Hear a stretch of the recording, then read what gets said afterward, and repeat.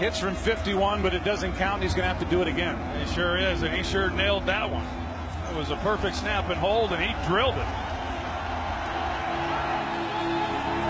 This to send the Packers into the NFC Championship game.